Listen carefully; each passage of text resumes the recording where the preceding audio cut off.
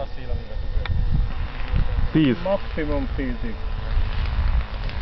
Illetve addig vállalunk érte felelősséget. Ez az egyik gyenge pontja a könyvben. De itt repültünk 10 16-osba tegnap.